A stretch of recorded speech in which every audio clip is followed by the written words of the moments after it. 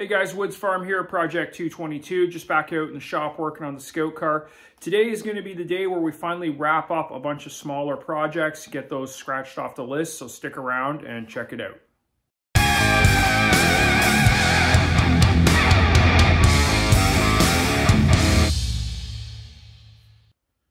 So in the last couple of videos, I've kind of been jumping all over the place and we've got a lot of little things that are um, half completed.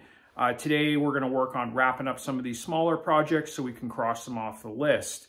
Uh, starting with getting the cooling system sorted out and uh, finishing up where we left off there. Uh, I've got a bracket to reinstall, some uh, rad hoses to change out. We're gonna top off the system and see if we can purge it and get any of the air bubbles that might be in there out. So that'll be the first thing, and then we're gonna move on to some smaller stuff and get that also crossed off our list. This video is going to be more of a show and tell format um, because I have a lot of little things to finish up. I think I'm just going to do the work and then I'll go and I'll show you what we've accomplished. But you can see I got a lot of stuff laid out here. Uh, managed to get down and get some new rad hoses um, the other day. So we've got those ready to go. Here's the bracket that I finished up um, in the last video. This is a custom bracket to hold the upper rad hose. Um, picked up a lot of uh, primer when I was down in the US. It's a lot cheaper at Lowe's down there. Um, so we've got that. So we're going to get started here working on the cooling system and we'll go from there. There's the uh, jack that uh, Gene sent us. Um, it's going to go right up in there, so I got to make some mounts. Um, I may or may not get to that in this video. I'd like to, but the main thing is we want to finish a bunch of the, the half completed projects. So here's the engine and we're going to deal with some of these cooling issues that we've got. Already got the new water pump sorted out. Now, this is was um, very unfortunate because this was a fairly expensive rad hose. It's a flexi hose and it's got a 90 degree preset bend.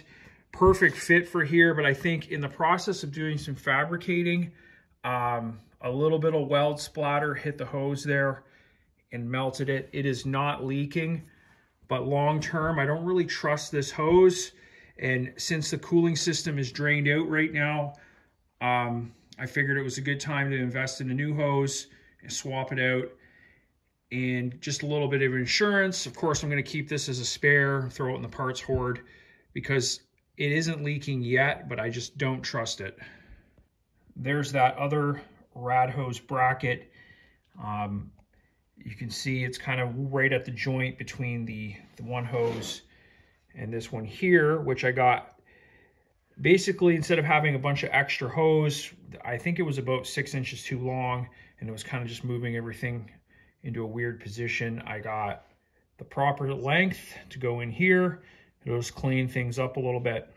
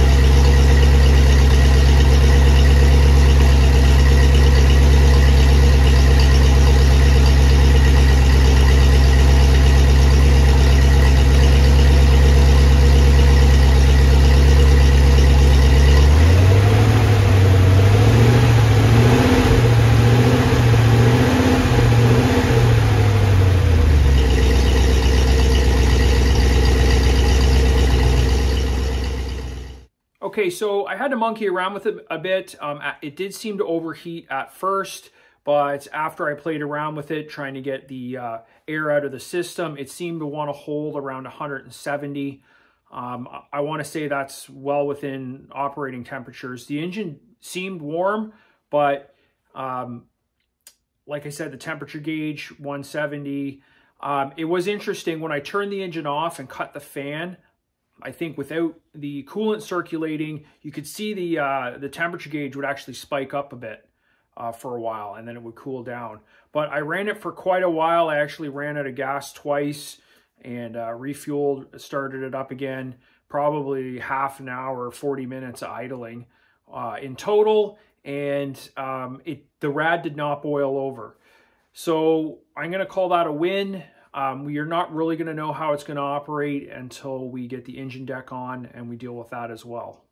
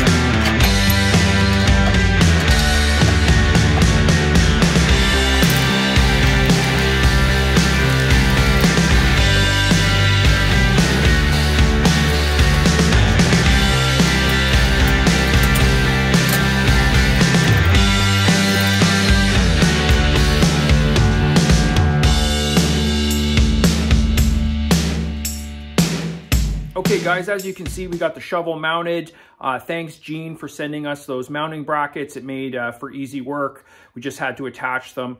Also got the little hatch cover uh, completed for the access to the um, rad cap uh, on that top cover plate that goes over top of the radiator area. That's done and out of the way, so we can cross that off the list. So the next thing we're going to start working on is, uh, since we got a jack, we're going to make the jack mounts so we can get it mounted onto the rear fender.